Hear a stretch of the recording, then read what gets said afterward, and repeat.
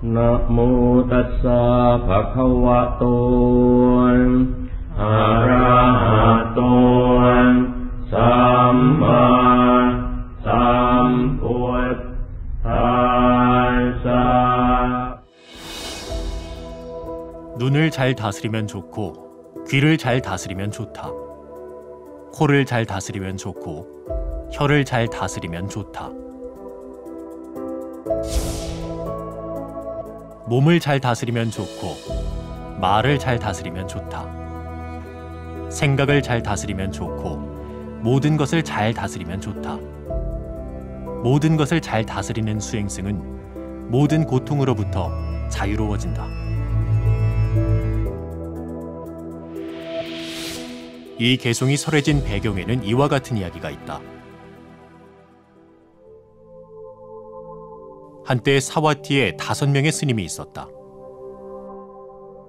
이 다섯 명의 스님들은 각각 다섯 가지 감각의 문인 눈, 귀, 코, 혀, 몸 가운데 하나의 문을 다스리는 수행을 하였다.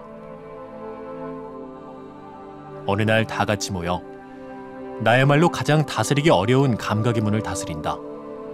아니다. 나야말로 가장 다스리기 어려운 것을 다스린다.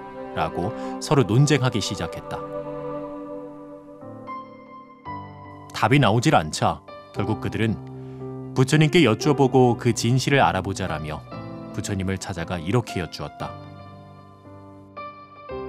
세존이시여, 저희 각각은 다섯 가지 감각의 문 가운데 하나의 문을 다스리는 수행을 하며 나야말로 가장 다스리기 어려운 감각의 문을 다스린다라고 각자 생각합니다.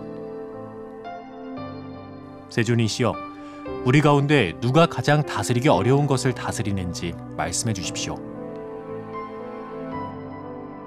부처님께서는 누가 더 낫다거나 열등하다고 말씀하지 않으시고 이렇게 대답하셨다.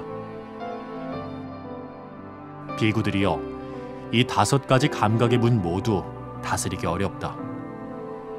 그런데 각각의 감각의 문을 그대들이 잘 다스리지 못한 것이 이번이 처음은 아니다. 그대들은 과거 생에서도 감각의 문을 다스리지 못하였다. 과거 생에서 현명한 이의 충고를 따르지 않았기 때문에 감각의 문을 잘 다스리지 못하였고 그 때문에 파멸을 맞았다. 부처님께서 이렇게 말씀하시자 다섯 명의 스님들은 세존이시여 언제 그런 일이 일어났는지요? 라고 여쭈었다. 스님들의 요청에 부처님께서는 딱가실라 자타카를 이야기해 주셨다.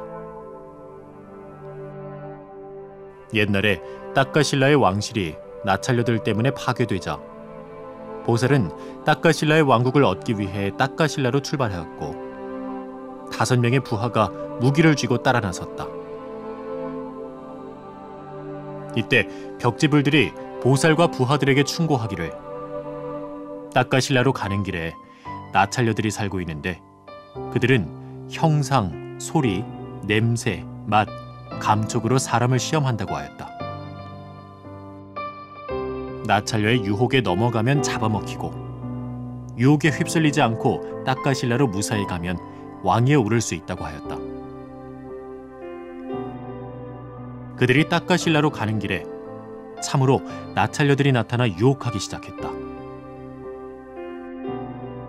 부하 중 한 명은 아름다운 형상에 유혹당했고 또 한 명은 감미로운 소리에 또 한 명은 향기로운 냄새에 또 한 명은 달콤한 맛에 그리고 또 한 명은 부드러운 감촉에 유혹당했다. 이렇게 부하들 모두 감각의 문을 다스리지 못하고 벽지불의 가르침을 가볍게 여기다가 모두 나찰녀에게 잡아먹히고 말았다. 하지만 보살은 감각의 문을 잘 다스려 어떠한 유혹에도 흔들리지 않고 무사히 딱가실라에 도착하였다. 보살이 하얀 일산 아래에 있는 왕좌에 앉아 자신의 권위와 영광을 둘러보고는 사람들은 자신의 의지를 강하게 다져야 한다 라고 생각하며 감흥어를 읊었다. 현명한 이의 충고를 받아들여 강인한 용기로 마음을 굳건하게 하였고 두려움도 공포도 드러내지 않았기에 나찰녀들의 유혹에 휩쓸리지 않았으니 이제 안전한 곳으로 왔네. 자탁과 이야기를 마치신 부처님께서는 그 당시에 보살이 나였고 보살을 지키던 다섯 명의 부하들이 바로 그대들이었다. 비구라면 모든 감각의 문들을 잘 다스려야 한다. 감각의 문을 잘 다스리는 비구만이 모든 고통에서 자유로워질 수 있느니라 라고 말씀하셨다.